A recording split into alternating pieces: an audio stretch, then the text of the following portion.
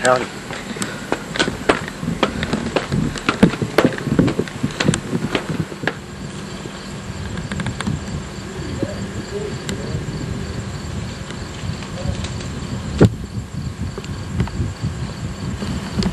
You see the big line of smoke? Okay, you see this hill over here that we can't really see over that well? Is that like four trucks there? I can see one, two, three, yeah, four of them. Big coal trucks coming off of the strip mine. Today, there's a big active mine over here, North Star, I think it is. It's mining over here. That's the active mine that um, they show everybody. You see, there's a tipple over here. See over next to that? Yeah, I do what see looks it. like a ruined castle that is actually the what's left of a mountain.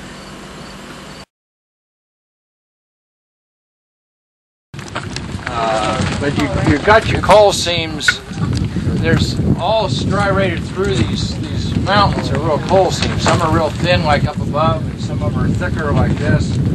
Uh, some are good quality, some are not. Uh, you see all this through here, this is all shale. None of this is, you know, anything in, the right here. Uh, so when you're talking about, you know, the volume of, you know, the massive amount of area that you take, the size of the valley that you take to fill this, especially once this stuff is pulverized, it expands, what is it, about four to one, five to one on the fill? Some, something like that. So, so it, the volume is much, much larger. So So it takes a lot more to fill back in again. But all this has got to be taken off here. Now see, these are little thin, thin coal seam right here. And, uh, I doubt it's not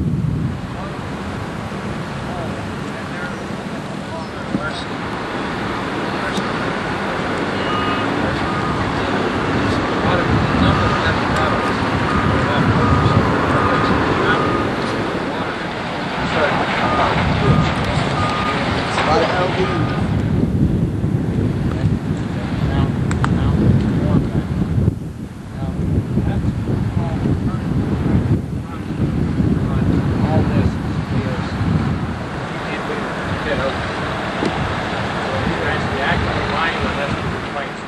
I'm very much opposed to this kind of mining. I, I think it's horrible mining system. Uh, points of view. One, waste anywhere from 40 to 60 percent of the resources wasted. It's gone. It'll never probably ever be recovered. Uh, two, once land is reclaimed, like that is over there, uh, it has no better use than it did prior to the mining.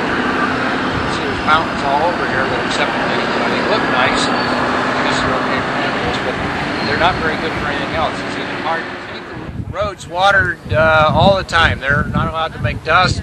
They have to keep the noise levels down. All that. Whenever they're mining, say, Starfire site, um, y'all start figuring out what y'all want to do with the reclamation site. Say that it ends up costing more than the coal was that you got out.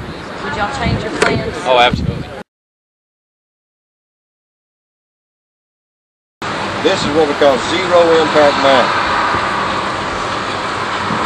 Surgically done. You just you, you walk around here with an excavator, which you saw our big machine down at the bottom now. He's already got all those ditches completed. What you do is sort of like fighting a war. You, you secure your perimeter, and it doesn't really matter what goes on on the inside, uh, because all the water is has got to die.